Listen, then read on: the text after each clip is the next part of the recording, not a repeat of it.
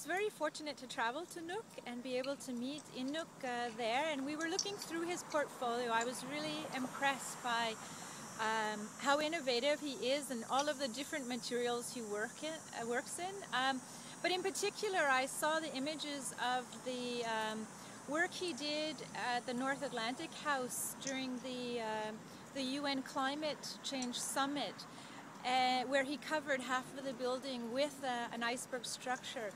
And it just clicked for me that this would be a really exciting thing to do uh, for our exhibition Sakahán during the summertime, which would bring that northern element to the exhibition as well as raise awareness of the environmental concerns that affect people living in those regions. Um, so we met with uh, Inuk and we talked about that. And initially, uh, my colleagues, uh, Greg Hill and Candice Hopkins, had decided that perhaps we should consider having the front entrance of the Great Hall as the iceberg and people would enter into it.